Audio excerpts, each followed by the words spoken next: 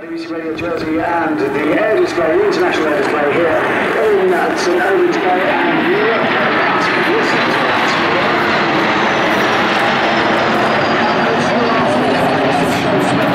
at that, is what makes this show special. That is a formation that has not been seen. The Saab SK60 in front, the Hawker Hunter, and the wonderful Saab Viggen up there in the third position, coming around for a formation flyby that has not been seen anywhere else. And that is the one that you said looks like people's idea of a jet aeroplane. If you were to draw a jet aeroplane, that's what it looks like. It looks like a paper aeroplane, doesn't it? And what wonderful shapes these are, Melvin. All different aeroplanes. Absolutely, they all different. Um, different roles, uh, and they will be individually displaying once they've done their formation. But this, as we said, this is unique to the Jersey International Air Show. This has not been seen anywhere else.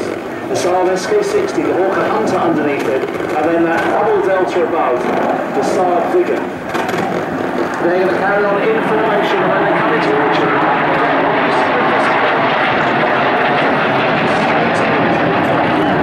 cameras because you are going to get a great opportunity for a fantastic photograph when they split.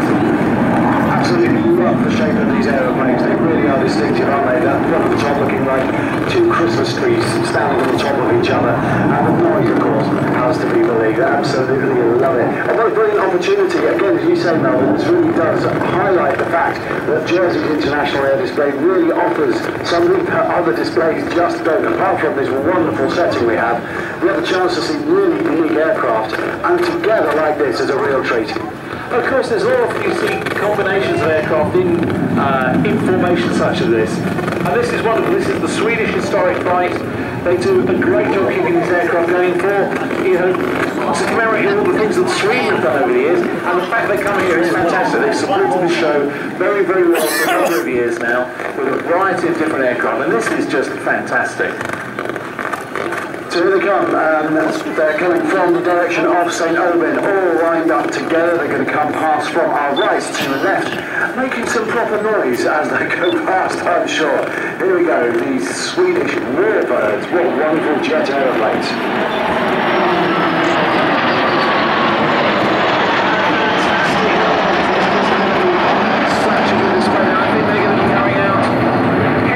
into the bay and then when they come in towards you, they will split as they come in towards you and the you watch the one in the middle, the little one in the middle, that's going to go vertical, that's going to start by doing its display. We'll tell you all about it then, the SK60 with the Hawker Hunter and the Saab Viggen. The Viggen is a wonderful aeroplane, great big. You're not going to hear much while that's going on. It's going to be noisy, it's going to be impressive.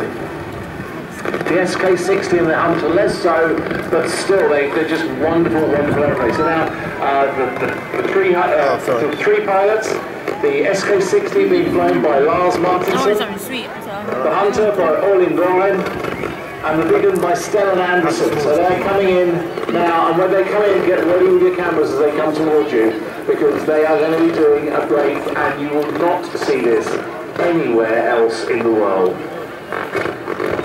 Here we go then, an exciting moment for us uh, here in St Aubin's Bay as these three wonderful aeroplanes.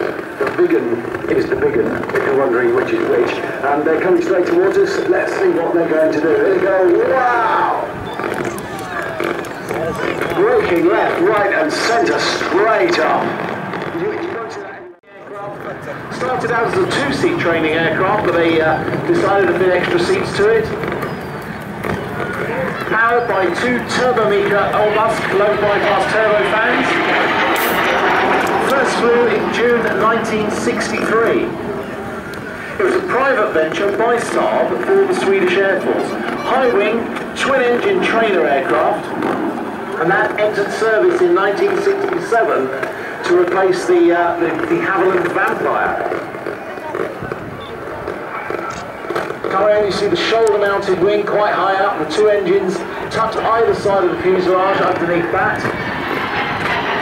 The outlets either side of the rear fuselage, the T-tail. Apparently this one was first designed as, uh, they had it in mind as a business jet. I tell you what, I wouldn't mind having the sort of business which meant I could have a jet like this to play around the display line nice and fast from right to left. and a relatively quiet aeroplane they bypass turbofan. Putting up in the. Getting lost above our commentary position where the roof is, that's really handy. Completing the loop, going out on the p-axis. The Saab was not a total of 150 aircraft were built by the Swedish Air Force and another 40 were built and exported to Austria.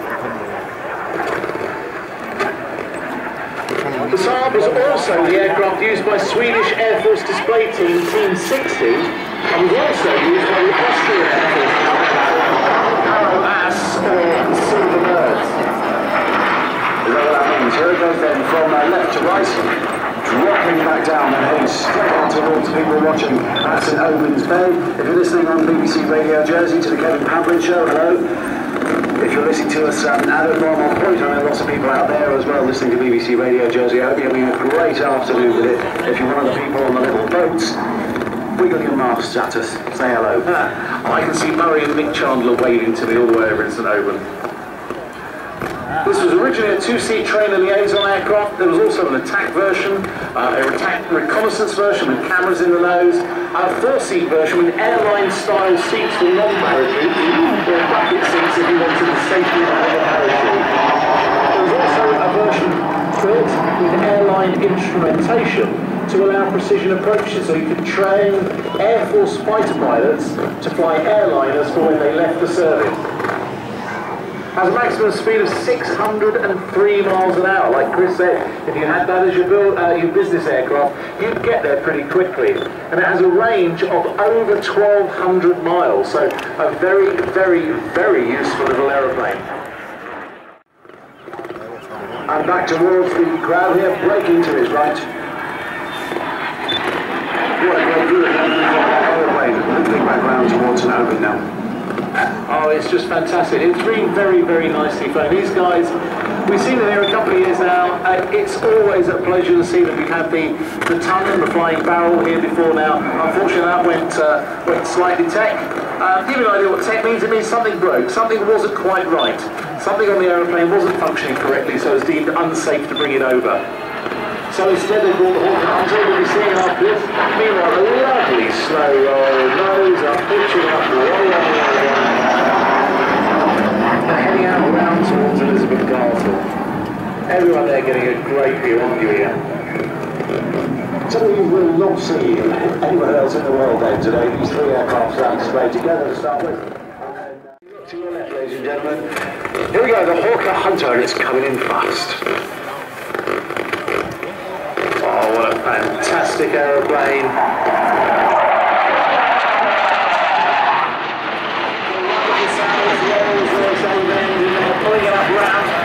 Contrails coming off the wingtips where the air is condensing, the water, vapour is condensing off the upper surface of the wing and being streamed down behind the wingtips. Rolling it then, coming around now in front of us. The Hunter was a great British export success. First flew in 1953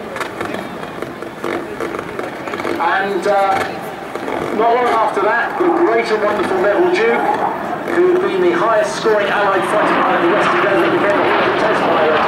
Who, the.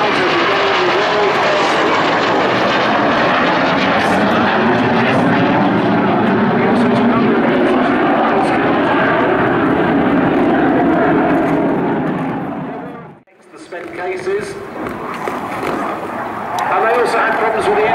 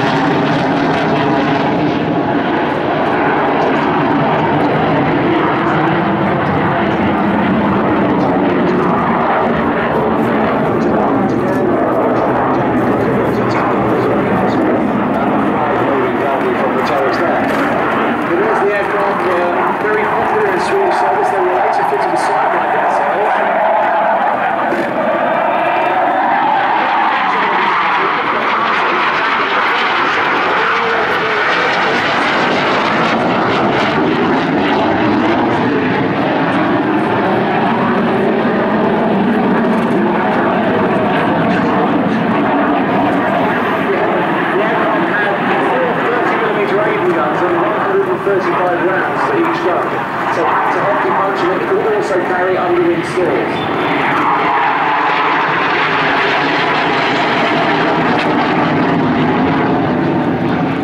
turn fairly tidy as well. Absolutely by all accounts, it is an absolute pleasure to fly. I'm. Is it right? It's an absolute pleasure to fly, just not. Uh, he's just told me he was 21 when he first.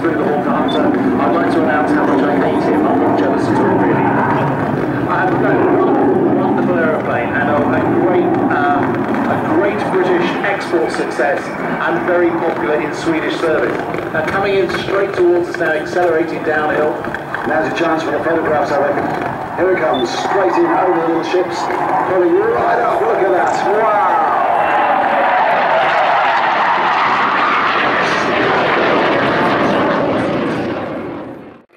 Two Christmas trees uh, on top of each other. A great, big, noisy aeroplane. I've been reading about this, but apparently the engine fitted to this at this time was the second biggest jet air, air engine. I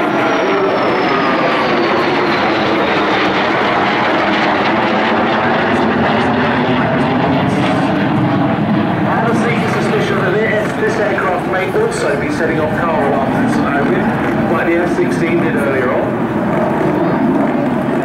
Now you get a good chance to see that, that plan form, the double delta there, the delta wing with the canard wing in front. This helps give it very, very good low speed stability. In fact, later on you'll see Stellan fly this airplane very slowly and rocking the wings from side to side at the same time.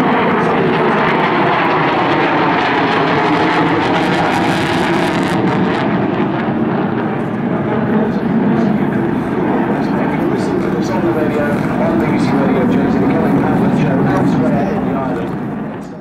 Down now in a shallow dive from right to left, heading towards Elizabeth Castle. I believe the, uh, the Viggen was manufactured between 1970 and 1990. And the Viggen actually means thunderbolt in Swedish.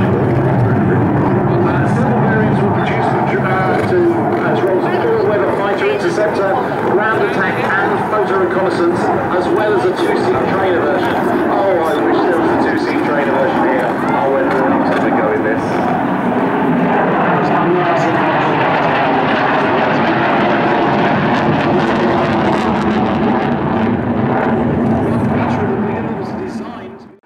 Very, very uh, capable aircraft. You see just how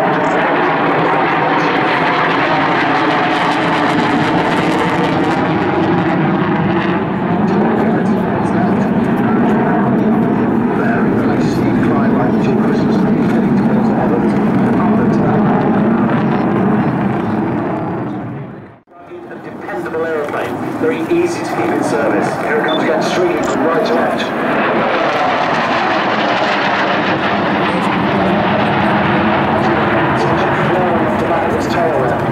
Up into the sky above Elizabeth Castle. We mentioned the pilots earlier on, Stellan Anderson is flying this, but we also should mention Håkan Anderson, who is the engineer, the mechanic that's been keeping these aircraft going and uh, does a wonderful job. So what a sight to see this is. Um, he'll be coming back uh, very soon, I think quite slowly. So if you want to get your pictures of the Viggen, the Viggen, this is your chance. Or maybe another quick one, uh, fast one first.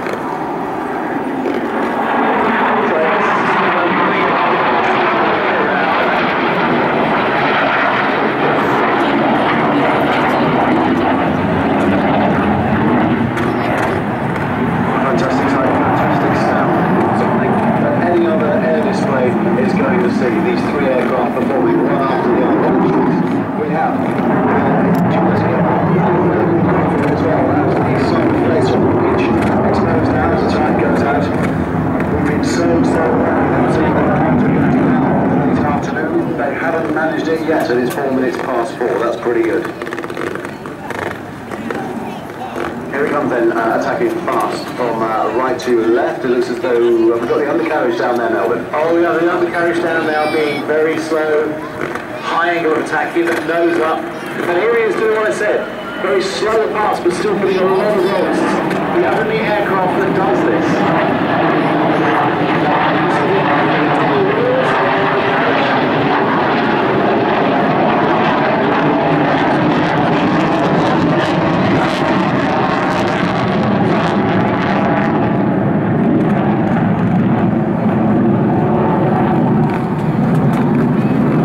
I've got a sound that makes uh, as it accelerates away up over station, looping back round over Elizabeth Castle. This is the beacon, and what a noise it makes. Uh, Elizabeth Castle now, it looks like a paper dart. Black paper dart, whizzing across the sky and going down into the middle of the bay here.